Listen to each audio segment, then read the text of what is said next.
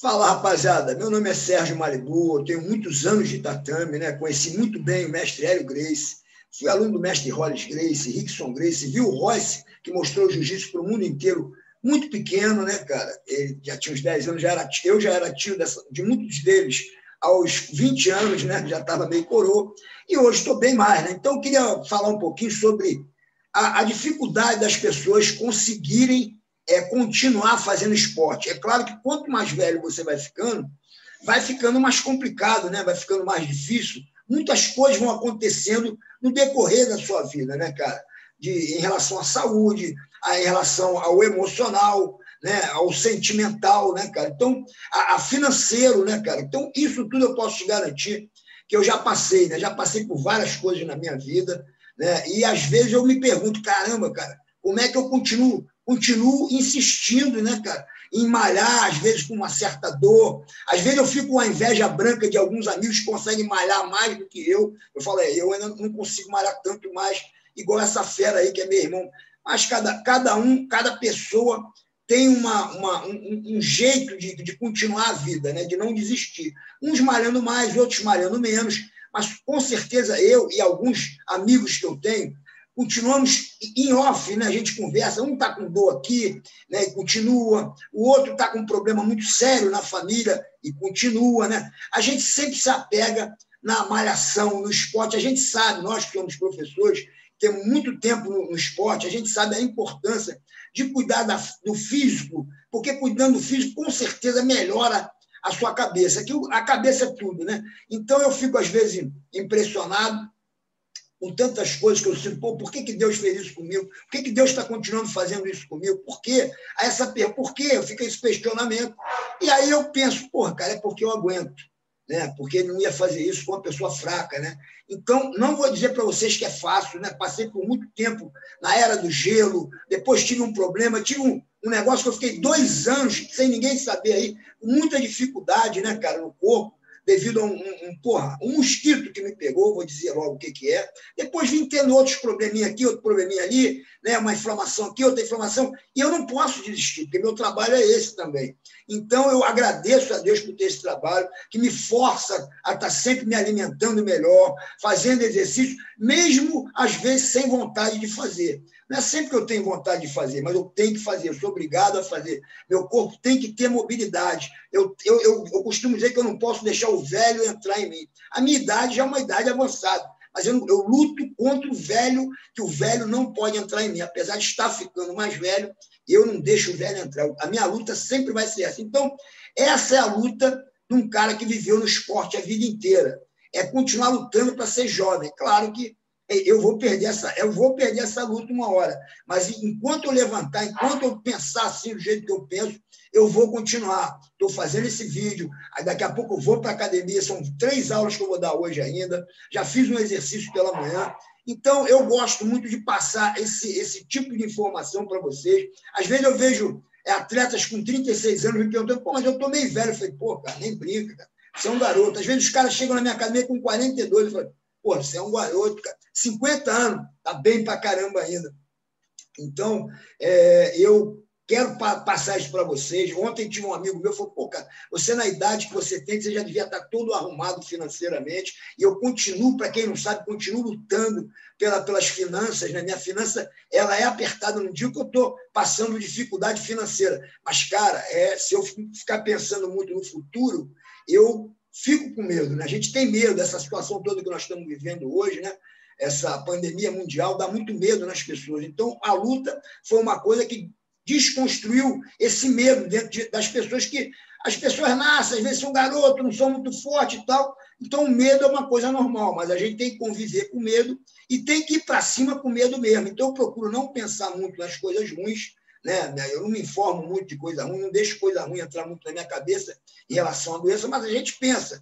A gente pensa e, e tento tirar esses pensamentos da minha cabeça com a parte esportiva, com a malhação, com o treinamento. Então, o mundo paralelo que o, que o tatame é, né, me faz muito bem. Eu estou querendo passar essa mensagem para vocês, porque eu continuo na luta financeira, né, cara? Eu continuo na luta na saúde, que são dois pontos que eu, eu foco a minha vida inteira, é ter uma, uma boa uma boa saúde financeira e uma boa saúde física. Mas toda hora eu tenho uma paradinha aqui, outra paradinha, tem que tomar um anti-inflamatório, tem que tomar um analgésico.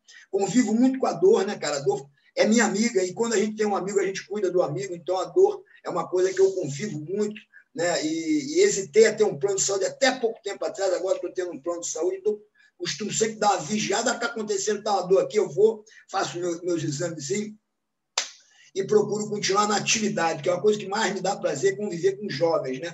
Apesar de eu ser mais velho, né, eu gosto de conviver com jovens, eu gosto de ver o, jovem que sonha em ser alguma coisa, que ainda não se formou, que ainda não se tornou faixa preta, né? Então eu estou aqui para ajudar esses jovens a se tornarem faixa preta, a se formarem é, em, em, qualquer coisa que eles queiram, né, cara? E os caras mais velhos, eu costumo passar esse exemplo e trazer sempre para o tatame, mostrar a importância da mobilidade. Muitos são muito fortes, mas tem, não tem tanta mobilidade, ainda tem uma cabeça né, de querer lutar com um, lutar contra outro. Cara, luta contra a velhice, cara. luta contra a velhice.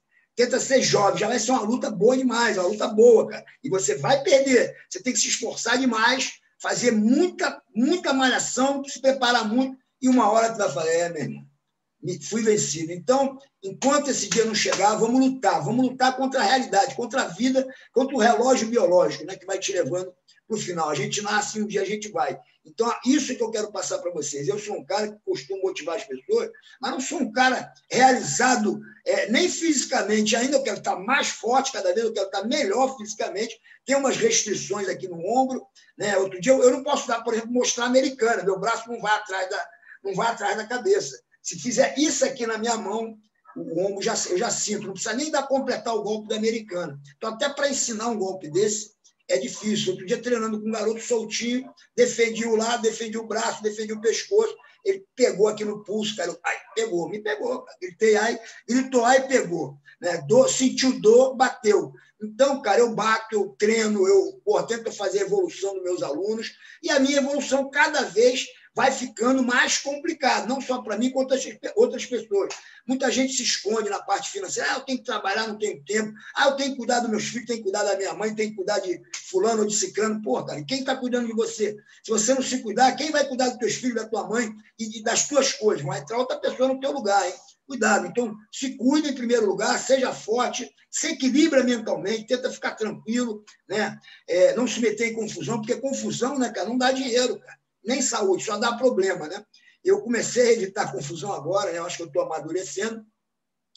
Eu fiz questão de fazer esse vídeo para a rapaziada que me acompanha aí no canal Malibu Jiu-Jitsu. Estou pedindo para vocês se inscreverem no canal e não pararem, cara. o grupo que a gente tem da academia é uma segunda família, que faz muito bem. Então, vocês procurem um professor, um mestre que seja um cara legal, um cara bacana. Vocês gostem de conversar não só de jiu-jitsu, porque nós professores também somos psicólogos naturais, né?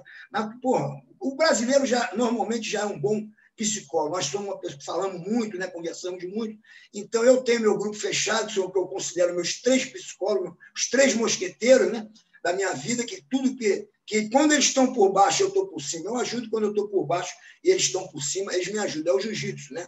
Hora você está por cima, hora você está por baixo. E a vida é a mesma coisa. Então, rapaziada, é Never Give Up. O nome desse vídeo hoje vai ser Never Give Up. Então, uma coisa que eu não, não, é uma opção desistir, eu não consigo desistir. Como é que eu vou desistir? Eu tenho que ir para academia, eu tenho que malhar. Às vezes o cara só quer treinar comigo, bicho. Às vezes o cara está parado há anos, mas é um gigante. Fala, não, mestre, eu quero só treinar com o senhor. Eu falei, pô, mas tem outros professores mais novos. Falei, não, eu quero, meu negócio é contigo. E é isso. Tem que aceitar o aluno, tem que me entregar para um aluno, às vezes, é muito mais forte, 20 e poucos anos mais novo que eu, né? porque está parado, mas, porra, está parado, mas, é, mas sabe, né, cara? Lutou aquilo, tá o instinto, aquela tatuagem interna. O instinto, nego não, não perde. Cara, ah, vou dar uma malhada antes. Eu falei, meu irmão, pode ir do jeito que você está mesmo, que a gente vai devagar e vai fazendo um aquecimento. Então, tem que estar tá sempre fazendo aquecimento, treinamento de mobilidade. Então, essa obrigação que eu tenho me faz bem, mas confesso que cada vez não está muito fácil.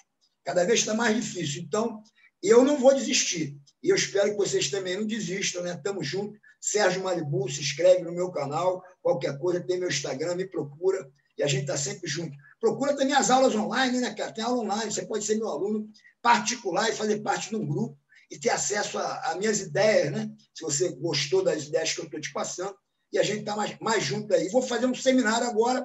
Se inscreve lá no meu, no, no meu Instagram que eu informo tudo para vocês. os. Pode parar com esse negócio! Eu não vou pagar mais essa mensalidade, eu não quero mais treinar com você. Eu já enchi o saco desse teu tipo de aula. Eu não vou pagar. Ah! Vai pagar! Vai! Vai pagar! Malibu!